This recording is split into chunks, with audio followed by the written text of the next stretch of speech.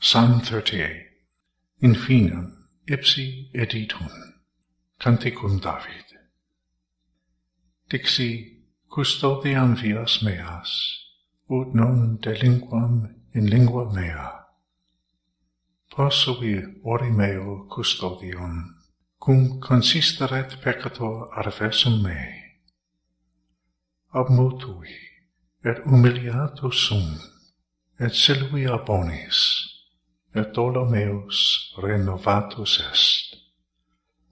Concaluit cor meum intra mae, et in meditationi mei exadescit inis. Locutus sum in lingua mea, notum fac mii, Domine, finem meum, et numerum dierum meorum quis est, uciam qui desit mii ecce mesurabilis posuistis dies meus, et substantia mea, tamquam nihilum ante te.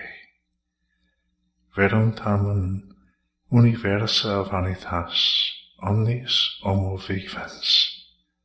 Verum tamen in imagine per transit homo, sed et frustra conturbatua tesoritat et ignorat cui congregabit ea.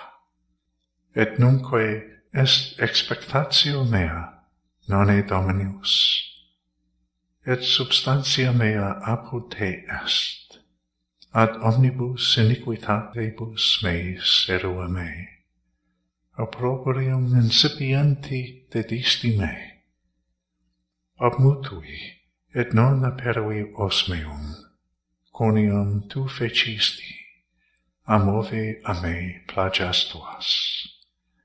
A fortitudine manus tuae, ego te feci in increpationibus prota iniquitatum corpuisti hominum.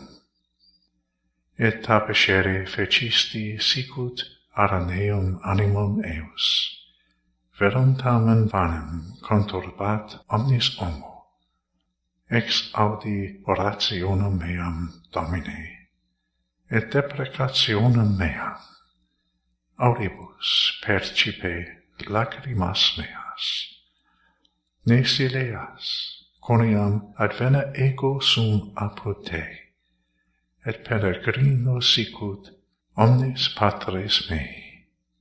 Remite mi, et refrigere priusquam abeam, et amplius non ero.